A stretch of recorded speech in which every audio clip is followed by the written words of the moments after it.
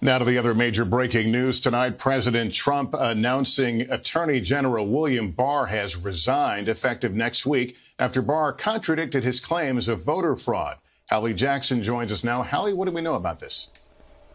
Lester, it's unusual an attorney general would leave this close to the end of an administration, but it is not altogether unexpected. The president has been fuming for weeks, according to sources familiar with this thinking, after Barr publicly said he has not seen widespread voter fraud so far. People close to Barr say for his part he was considering departing by the end of the year, even before that. The president tonight describes their relationship as very good, and Barr's resignation letter is very complimentary, praising what he calls President Trump's historic record.